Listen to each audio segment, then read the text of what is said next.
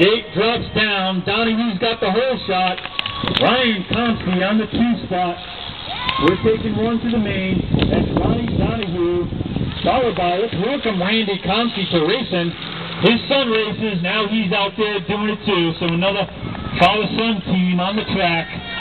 That's Ronnie Donahue out in the front spot. And Randy Comsky in the two spot. And it looks like Ronnie Donahue will transfer out, followed by Randy Comsky.